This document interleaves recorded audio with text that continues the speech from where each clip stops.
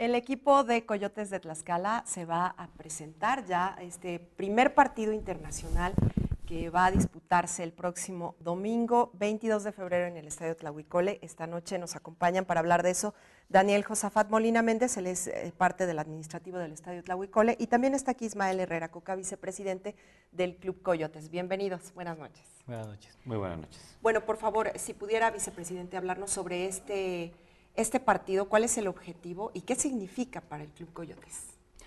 Significa eh, trascender, es incluso un partido que se va a transmitir en Argentina, hay una diferencia de horario, pero ya es de manera oficial que eh, se estará este, difundiendo, será en, en, directo. Y bueno, pues eh, realmente es muy importante para el club esta parte de poder eh, ir más allá de las fronteras.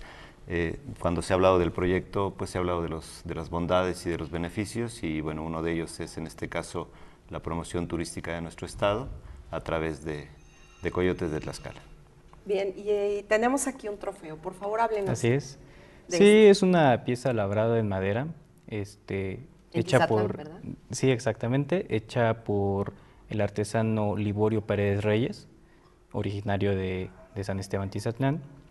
Y bueno, esta pieza está, está elaborada con madera de cedro y tiene una altura de 40 centímetros la pura pieza. Muy bien, y bueno, en el caso de, Club Coyotes, que va ya a, presentar este segundo partido de exhibición, que es de corte ya internacional, se llevará este trofeo. Háblenos de cuál será el equipo que se llevará ese trofeo y en el caso de Club Coyotes, qué significa que se haga en el Estadio Tlahuicol? Bueno, por supuesto esperamos que el ganador y que quien lo eh, sea, sea, el primer trofeo, en este caso que en esta etapa, eh, en esta nueva era, como se le, también se le ha denominado a este proyecto, bueno, pues que sea el triunfador, eh, que pueda ir a la, que pueda inaugurar las vitrinas del club, eh, es, un, eh, es un partido, este, aunque tiene el carácter de amistoso y es un partido de preparación que lleva a cabo el eh, Club Talleres de Córdoba en esta, en esta gira por, por México.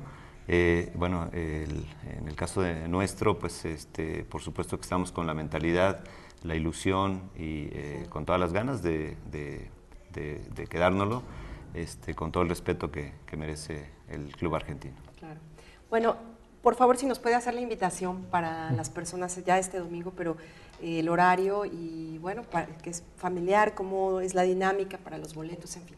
Así es, bueno, la venta de boletos ya inició hace unos días eh, y precisamente tenemos habilitadas la taquilla del estadio, también tenemos habilitado los diferentes puntos de venta, que es en en portales, en los portales de Tlaxcala, en tienda Providencia Santana y en tienda Mister Tenis. Tenemos la promoción del 2x1 solamente en laterales y en generales. este, y bueno, va a seguir permaneciendo hasta el día de mañana, también en la taquilla del estadio el mismo día, el del partido. Pero también pues invitar también a la afición, va a haber un partido previo. El partido previo es contra algunos jugadores del mismo equipo de Coyotes, pero también con algunos jugadores también de la sub-20 de Pachuca contra eh, el segundo equipo de, Talleres de Córdoba. Se van a abrir las puertas a partir de las 9 de la mañana. Para quien gusten llegar, pues ya podrán accesar.